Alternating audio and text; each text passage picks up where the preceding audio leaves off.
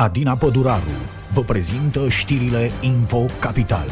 Bună seara tuturor, bun găsit! Iată pentru început care sunt știrile pe scurt. Drumul din Dâlja, localitatea aparținătoare municipiului Petroșani, va fi asfaltat. Deja pe câteva sute de metri s-a turnat asfaltul. În localitatea Bistra din județul Alba, investițiile nu bat pasul pe loc. Administrația comunei a reușit să obțină o finanțare pentru alimentarea cu apă. Cartierul Ștefan din municipiul Lupeni se va schimba cu totul. Drumul principal și canalizarea se vor introduce aici. Niciodată nu au avut asfalt, drumul de acces spre gospodării fiind mai mult forestier. Vorbim despre circa 170 de familii din Dâlgea, localitatea aparținătoare Petroșaniului, care în maximum 3 săptămâni vor putea ajunge acasă pe asfalt. Investiția majoră este finanțată cu bani de la PNDL. Toată viața căruța și calul i-au fost mijloc de transport, asta până acum câțiva ani când pe aici pe acolo a mai apărut câte o mașină 4x4. Chiar și așa, fără un drum de acces demn de secolul 21, au reușit să-și construiască case frumoase departe de agitația urbană, de unde parângul se vede în toată splendoarea lui. Vorbim de circa 170 de familii de Momârlan din Dâlja, localitate aparținătoare municipiului Petroșani, pentru care anul 2018 va va intra în istorie, drept anul în care au pentru prima dată asfalt. Suntem pe drumul de la Dâlgea, am ajuns uh, în situația în care turnăm covor asfaltic.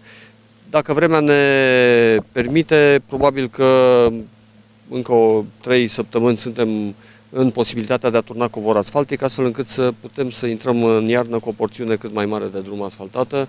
E un proiect pe PNDL, așa cum am promis uh, și anul trecut, uh, lucrările continuă aici.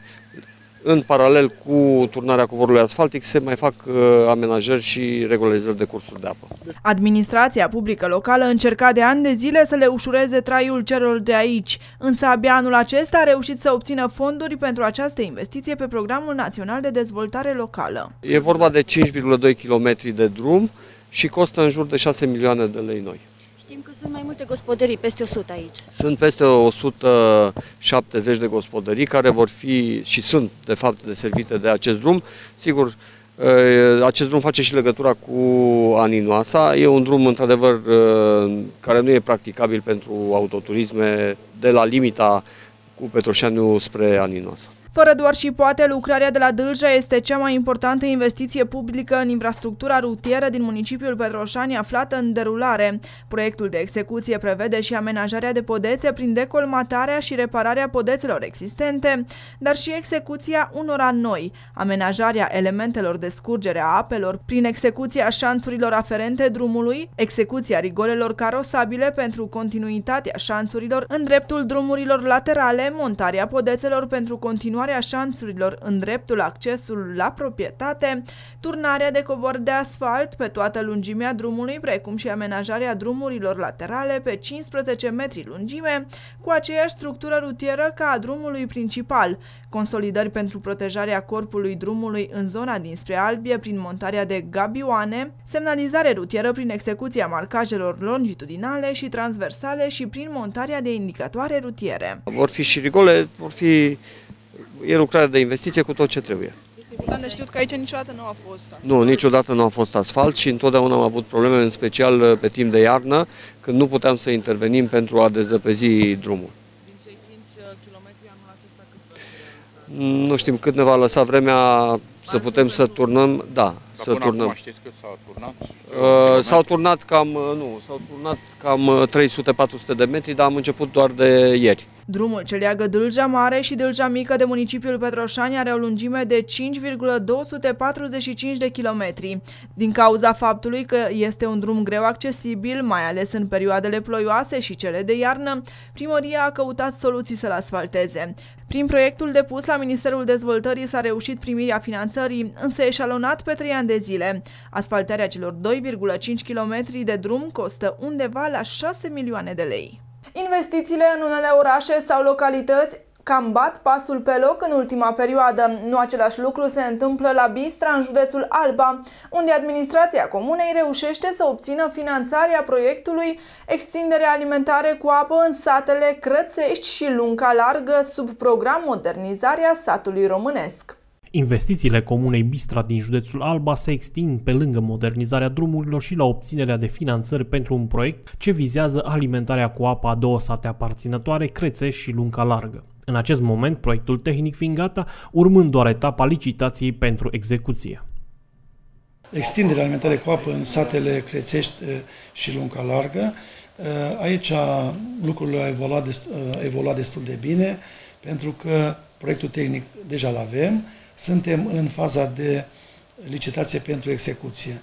Licitație care de câteva săptămâni, practic, e blocată la București, la ADNMAP.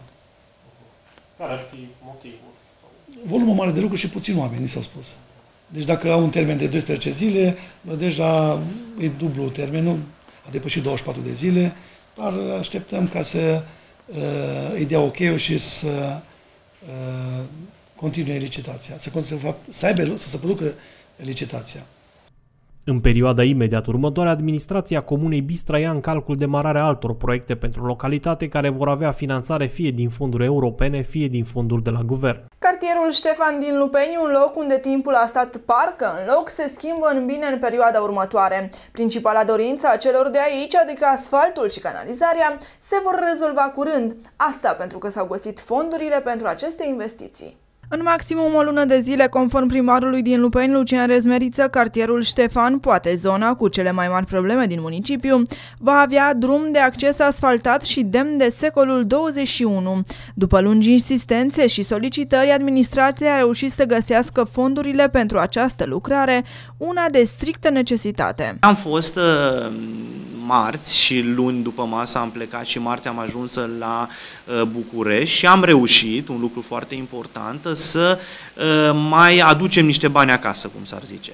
Uh, vom face în așa fel, spunem în premier acest lucru, să asfaltăm tot drumul din Ștefan. Deci nu vom mai asfalta doar de la strada 8, așa cum le-am promis oamenilor, vom asfalta tot Ștefanul, de unde a rămas, inclusiv avem o curbă unde sunt niște grope destul de adânci și de mari, acolo. Este o zonă încă din beton de pe timpuri de mult. Și vom asfalta de, din acea zonă. Dacă acum 2 ani de zile, dacă nu mă înșel, am reușit să lărgim acel drum din Ștefan, deoarece nu avea decât o singură bandă la momentul respectiv, administrația a reușit să găsească fondurile necesare pentru a lărgi acel uh, drum să fie cu două benzi, să avem zi de sprijin și să fie asfaltată acea porțiune. De acolo, până sus, în Ștefan, până la ultima stradă, anul acesta, în maxim o lună de zile, acea stradă va fi asfaltată așa cum trebuie, astfel încât oamenii să fie mulțumiți. Iar dacă drumul va fi asfaltat și canalizarea va fi introdusă, asta după ce ani la rând aici au existat probleme majore. Zona Ștefan, din punctul nostru de vedere, e o zonă critică nu de acum, de acum 7-8 ani de când am început demararea uh, tuturor documentațiilor și tuturor uh, uh, documentelor care trebuiau făcute pentru a obține o finanțare europeană, ca toată zona respectivă să fie, uh, să fie canalizare. Știm că în zona respectivă nu avem probleme cu alimentarea cu apă, în schimb avem probleme cu canalizarea, nu este canalizare în zonă, tot cartierul ăla de case are așa zise uh, bazine tanci vidanjabile, dar de fapt sunt niște fose septice a căror prea plin vine pe rigola drumului, din rigola drumului vine pe deal, noi știm asta, reprezentanții uh, Uniunii Europene, chiar ei, acum doi ani, înainte când se făceau uh, actele, uh, to- toate documentele pregătitoare, i-am dus la fața locului, au văzut până la urmă care este uh, problema. Uh, în proiectul actual. Este prins această lucrare, să vă răspund când uh, va fi această lucrare și dacă reușim să o facem înaintea asfaltării străzii, eu zic că se va întâmpla asta undeva în primăvară. Dacă nu avem niciun fel de contestații, niciun fel de uh, probleme vis-a-vis -vis de atribuirea contractului de lucrări, în primăvară cu siguranță vor începe lucrările. Dar, ca de fiecare dată, uh, când știam că se va face drumul, ori s-a întârziat drumul, ori am, ulterior am făcut noi, uh, după ce s-a făcut uh, canalizarea sau alimentarea cu apă, s-a refăcut drumul, în caietul de sarcini este stipulat foarte clar, drumul se aduce la forma inițială. Normal că va fi o cheltuială, să zic, în plus pentru constructor sau o cheltuială cumva uh, în plus pentru primărie, că și ei tot pe fonduri mă gândesc că asfaltează, dar având în vedere faptul că proiectul e aprobat, având în vedere că au fost printre primele proiecte care sunt în evaluare, noi sperăm că până la sfârșitul anului să fie atribuit contractul de lucrări. Dacă atribui contractul de lucrări peste iarnă, cu siguranță nu se va asfalta. Cu siguranță în perioada aia de 2-3 luni constructorul își va face organizarea de șantieri și în primăvară va fi o acțiune comună, va fi chiar uh, obligația constructorului când începe lupeniul să înceapă cu zonele critice, care le știm, să zic, înainte de a, de, înainte de a ști că proiectul este aprobat. Pentru asfaltarea drumului au fost alocați de la Ministerul Transporturilor 150.000 de lei în plus față de banii alocați inițial pentru aceste lucrări. În cartierul Ștefan locuiesc câteva sute de familii care ani la rând s-au plâns de problemele din comunitate. Nici sindicatele nu mai sunt ce au fost odată. Cei care ar trebui să lupte pentru drepturile minerilor și energeticienilor au devenit susținătorii administrației. Le-au închis gura cu beneficii, susține unul dintre liderii de sindicat din Oltenia. Liderii de sindicat au fost cumpărați de șefii complexului energetic Oltenia, susține unul dintre sindicaliști. Nicu Bunoaica, de la Sindicatul Solidaritatea 2013, susține că minerii și energeticienii nu mai sunt reprezentați de cei din structurile de profil, deoarece aceștia au obținut salarii nesimțite din partea administrației. Nu mai muncesc pentru interese minerilor și energeticienilor pentru că uh, nu au de ce să mai lupte, pentru că administrația le oferă tot ce vor ei. Ce anume le oferă administrația? Salarii, nu vi se pare că este un salariu foarte mare să ai 9.000 de lei pe lună și plus 10% sporul de fidelitate care și l-au obținut, tăind 9% din sporurile care defineau condițiile deosebite și punând la TESA cei care îi țin acolo lideri de sindicat. Bunoaica spune că această complicitate durează de ani buni, sindicaliștii fiind mulțumiți cu locuri de muncă facile, dar bine plătite. Au colaborat întotdeauna cu administrația, ei nu și-au văzut decât interesele lor. Salarii salarii uriașe și tăiatul la frunză la câini prin uh, Târgu Jiu. Dar ei nu știau ce se întâmplă acolo, în uh, la locul de muncă. În ultima perioadă, contestatarii administrației au dispărut, iar liderii de sindicat, care amendau orice derapaj al conducerii, au devenit muți. Centura ocolitoare a orașului Petrila face în aceste zile prima dată cunoștință cu asfaltul. Aici, pe porțiunea din spatele primăriei, s-a turnat deja primul strat, iar lucrările vor continua. Până maximum în luna noiembrie, drumul va fi deschis circulației. Drumul tehnologic de la Petrila, pe care până acum circulau doar mașinile de foarte mare tonaj, însă și acestea prea puține, va fi curând deschis circulației. Constructorul contractat de Societatea Națională de Închideri Mine Valea Jiului, în a cărei sarcină a revenit asfaltarea șoselei, lucrează în zonă și chiar pe o porțiune de câteva sute de metri s-a și turnat asfalt. Este în curs de asfaltare, cred că s-au turnat uh, primii, primele sute de metri sau chiar un kilometru din uh, drumul de centură ce să vă spun decât că e un obiectiv uh, realizat atât pentru noi cât și pentru societatea din Chidermine, pentru că uh, lucrările la drumul de centură s-au cerut, cred că de aproximativ 2 sau 3 ani de zile. Într-un final s-a reușit uh, obținerea finanțării, toate avizele și se lucrează efectiv. Șoseaua de centură a orașului Petrila este situată de-a lungul Albiei Jiului de Est. Artera are o lungime de aproximativ 4 km și este cuprinsă între municipiul Petroșani, intrarea dinspre cartierul Bosnia și zona primăriei Petrila pentru a facilita accesul pe șoseaua de centură pentru cei care sunt obișnuiți să folosească accesul de la intrarea în oraș, administrația și-a propus realizarea unui pod rutier la intrare, paralel cu cel de cale ferată existent acum. Stadiul birocratic pentru construcția acestuia este avansat și totodată cuprinde și un parteneriat între Petrila și Petroșani. Suntem în discuție cu uh, cei de la Petroșani, am discutat cu primarul, Uh, și vom uh, avea un acord sau vom primi incomodat pentru că zona în care vrem să construim podul de peste Jiu uh, este pe OAT Petroșani. Am discutat cu lor și o să ne dea încomodat o suprafață de vreo 4.000 de metri pătrați Uh, unde noi ne-am și prins în buget bani să facem un proiect pentru a construi podul de peste Jiu. Lucrările de închidere și ecologizare de la Mina Petrila au prevăzut și asfaltarea drumului tehnologic care trece prin fosta incintă a unității miniere din localitate.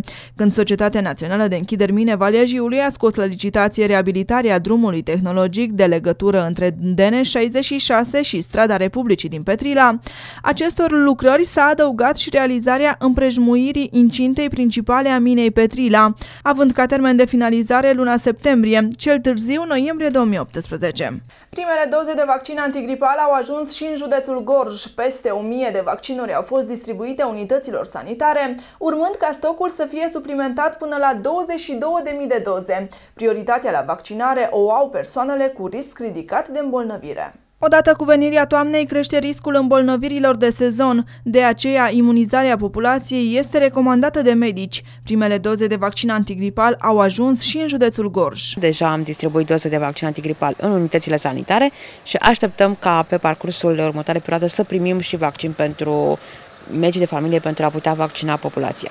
Câte doze de vaccin au ajuns?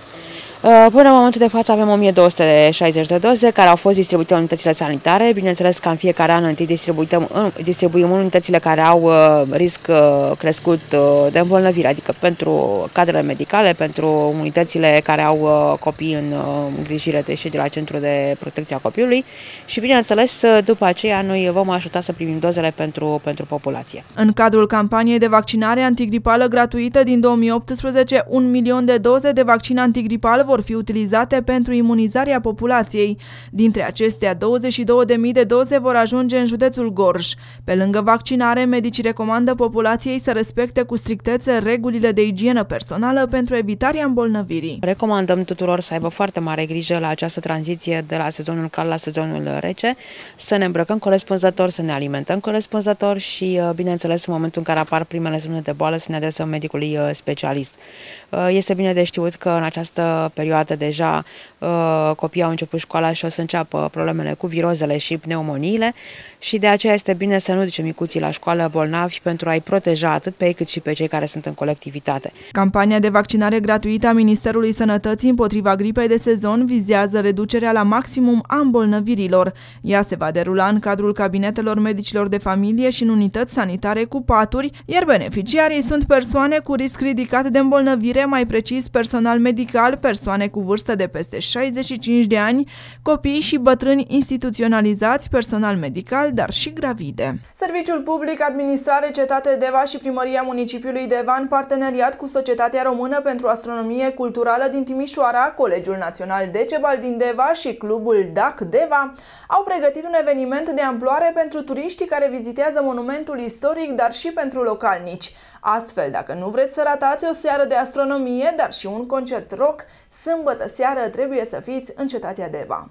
Sâmbătă 22 septembrie 2018, între orele 19 și 23, în cetatea Devei vor fi amplasate mai multe telescoape performante, cu ajutorul cărora vizitatorii vor putea observa cerul, planetele Jupiter și Saturn, cu sateliții lor, dar și satelitul natural al Pământului Luna. Acțiunea dorește să marcheze și echinocțiul de toamnă, care în anul 2018 are loc pe 23 septembrie la ora 4 și 54 de minute, moment din care ziua scade treptat, iar noaptea devine din ce în ce mai lungă. Telescoapele vor fi oferite de Societatea Română pentru Astronomie Culturală din Timișoara și de Colegiul Național Decebal din Deva. Membrii Cercului de Robotică de la Colegiul Național Decebal din Deva și profesorul Sorin Stănculescu, precum și specialiști de la Societatea Română pentru Astronomie Culturală din Timișoara, vor susține lecții de astrofizică și astronomie pentru cei pasionați de astre și de această știință. Camera de artilerie din cetatea Cetatea Deva se va transforma timp de câteva ore într-un mic planetariu. Între orele 20.30 și 21 și 30 de minute pe platforma arterială vest din cetate va avea loc o demonstrație Airsoft pe timp de noapte. Membrii Asociației Decebal Airsoft Club din Deva vor aplica tactici de luptă în nocturnă. Turiștii se vor putea implica și ei în acest mic război. Pentru cei care iubesc muzica rock, trupa Blacklight din Deva va susține, după orele 22, pe platforma Arterială Vest, un recital cu piese din repertoriul propriu, dar și cover-uri după piese consacrate. Organizatorii au pregătit câteva surprize și pentru copii, utilizarea telescoapelor, participarea la demonstrațiile Age Soft și la concertul de muzică rock din cetate sunt gratuite. Telecabina care va facilita accesul în cetatea Devei va funcționa până la ora 20 23. În cazul în care condițiile meteo nu vor fi favorabile, evenimentul va fi reprogramat. Aleea din fața porții sărutului din Târgu Jiu a fost acoperită cu un steag al României de zeci de metri. Drapelul a fost inclus într-o caravană în anul centenarului Marii Uniri și va străbate fiecare județ din țară. De ziua națională, steagul va ajunge la Alba Iulia. Un steag de 50 de metri a fost desfășurat în parcul Constantin Brâncuș din Târgu Jiu. Acțiunea a fost organizată de tinerii din PNL care participă la caravana organizată la nivel național. Tricolorul este transmis dintr-un județ în altul și desfășurat lângă obiectivele importante din fiecare oraș reședință de județ. Este vorba despre un eveniment care se desfășoară de către Tineretul Național Liberal la nivel național. Ieri a fost uh, rândul uh, tinerilor din Gorj să preia un tricolor de mari dimensiuni, de 50 de metri lungime, de la colegii din Mehedinți, iar uh, de la Gorj va fi predat uh, uh, județului Vâlcea. Acest drapel va parcurge toate județele țării, va ajunge în data de 25 noiembrie în cetatea Marii Uniri de la Alba Iulia, unde va rămâne până în data de 1 decembrie. La Târgu Jiu, tricolorul a acoperit întreaga alee din fața porții sărutului. Noi am primit acest tricolor pe care l-am desfășurat la poarta sărutului, am parcurs calea eroilor până la coloana fără sfârșit, și de asemenea am ajuns cu el în piața prefecturii Gorj. De la Târgu Jiu, drapelul va pleca în județul vecin Vâlcea, de unde va fi mai apoi dat mai departe în Olt. Zilele maghiare din județul Hunedoara debutează sâmbătă 22 septembrie 2018 în piața cetății din municipiul Deva. Evenimentul aflat la a noua ediție se desfășoară în perioada 22-30 septembrie în mai multe localități hunedorene. Organizatorii zilelor maghiare din județul Hunedoara propun pentru cea de-a noua ediție a manifestării concerte, dansuri medievale și populare, spectacole de teatru, expoziții, prezentări de carte, târg de meșteșuguri și multe altele. Ineditul acestei ediții constă în faptul că manifestările se desfășoară sub egida Madia Srex, acasă, 2018 fiind declarat an memorial Matei Corvin în tot bazinul carpatic. Nu ne-am schimbat uh, nici gândirea și nici valorile. În cei 9 ani de zile de când organizăm zilele maghiare în județul Hunedoara, dorim să contribuim la o atmosferă plăcută, de colaborare, de deschidere și de dialog între comunitățile um, minoritară maghiară și majoritară românească. Dorim să arătăm că avem și noi câteva elemente de cultură, de gastronomie, de dans sau de, de creație și de artă care, care uh, sunt importante pentru noi împreună, pentru hunedoreni. În acest an ne uh, ne alăturăm anului jubiliar Matias Rex. Uh, Corvin Matei este hunedorean, deci este al nostru și mi se pare doar la locul lui să ne alăturăm acestui an și să avem și uh, acțiuni de popularizare științifice, dezbateri și așa mai departe legate de uh, regele Matei, de Matias Rex și de importanța acestuia în istoria noastră comună în Transilvania. Manifestările se adresează tuturor hunedorenilor, indiferent de vârstă, sex, etnie și altele, însă tinerii vor avea un loc aparte în programul pregătit de către organizatori, având chiar și o zi a lor. Beneficiarii și participanții cei mai mulți uh, dintre cei care vin la zilele maghiare sunt tineri sau familii cu tineri, familii cu copii. Ca tare este în mod normal ca de la începutul zilelor maghiare și Direcția Județeană pentru Sport și Tineret, responsabilă de sport și tineret, să fie partener în organizarea acestei acțiuni, pe lângă cele concertele la care participă foarte mulți tineri care se vor organiza la Deva, Hunedoara și Lupeni și spectacolul de teatru uh, de comedie care va fi la Petușan, vom avea ziua tineretului sâmbătă în curte la uh, Casa Maghiară din Deva. Dar poate cele mai mari surprize vin de pe partea gastronomică a manifestărilor, una dintre cele mai apreciate componente din edițiile anterioare a zilelor maghiare din județul Hunedoara. În Deva, sâmbătă, vor fi șapte ceaune cu diferite arome, toate tradiționale. Chiar am promisiunea ca una dintre ele o să fie după o rețetă din 1600-1700, deci ca prin uh, vremea lui uh, uh, Matias Rex, de fapt Matias Rex, care sperăm că acum, dacă ar simți, s-ar simți acasă aici la noi. Evenimentele cuprinse în cadrul celei de-a noua ediție a Zilelor Maghiare din județ se vor desfășura în localitățile Deva, Hunedoara, Cristur, Lupeni, Petroșani, Brad, Streisângeorgiu, Jeledin și Orăștie. Aici se încheie știrile din această săptămână. Noi ne revedem luni la o nouă ediție. Până atunci, să aveți un weekend liniștit.